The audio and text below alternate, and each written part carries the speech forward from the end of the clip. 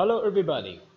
Now this is one data recovery video from Dolphin Data Lab. Users can see that this is one Seagate new hard drive.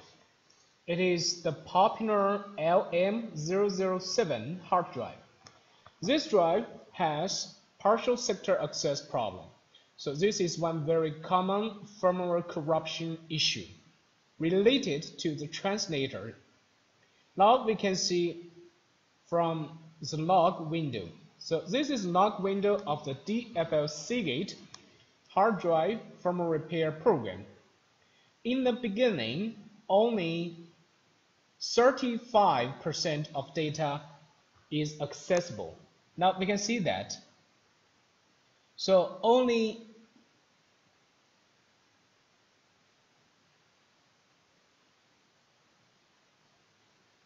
part of the data are accessible. Now this is the LBA. Now we can see here.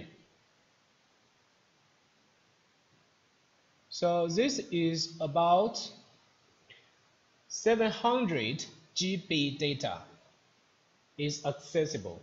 But after this LBA, all are not accessible.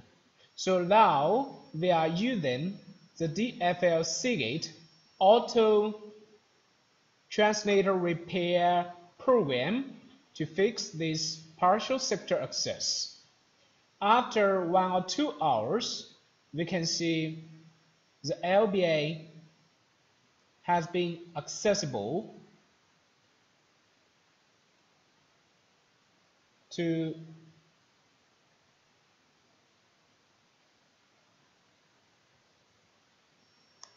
this size. This size is about 1.6 TB data. That means it is almost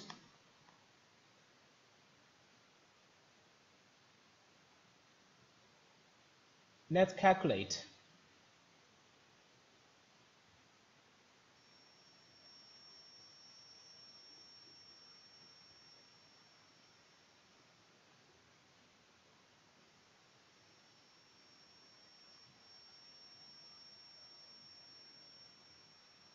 This is the total size, the total LBA.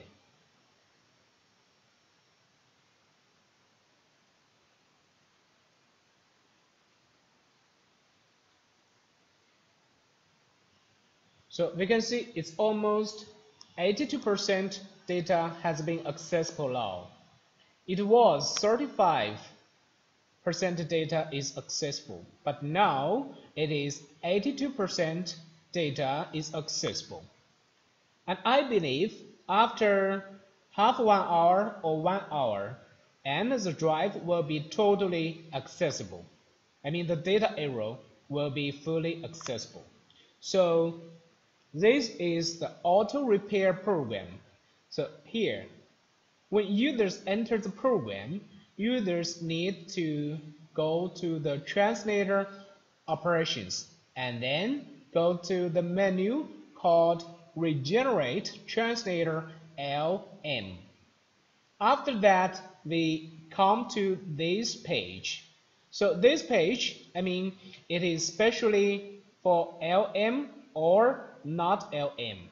If the drive is other Seagate F3 hard drives like DM, VM, or other uh, 5400.6 some other kind of long LM hard drives, we need to select not LM.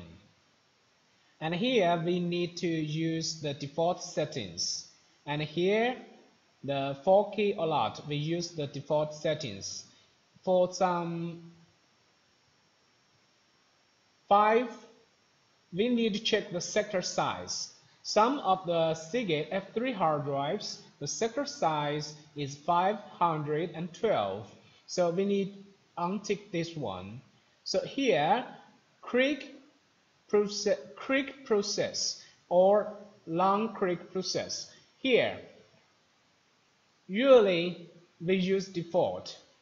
Then if the default is doesn't work we need to untick this one. That means we need to add the LBA one by one. So from log window, we can see that it is from added LBA one by one. Anyway, these bad points are not successive. After some bad points have been added to NG list and running the translator regeneration automatically by the program and a large arrow of bad points will be gone. That means more arrow will be accessible after some bad points are added to the NG list. So this one is very important. Is very important. So this function is very easy to use just some simple clicks. Anyway, before using this partial sector access function, this is auto repair function from the Dolphin Data Lab. Before we use this function, we need to make sure the G list and NG list are empty. We need to remove the defects in the G list and NG list first and then regenerate the translator. After regenerating the translator, we need to view the G list and NG list again to make sure these two defect lists are empty. And then we need to run the translator regeneration again. And finally, we use this function to repair the partial sector access problem. So this function has very high success rate with the DFL Seagate firmware repair too. So right now we have many DFL users who have used this function to fix a lot of hard drives with the partial sector access problems. Now we can see from log window more bad points, we can see the LBA keeps changing. More bad points have been added to the NG list and the translator has been regenerated. That means the data error has been accessible after this operation automatically.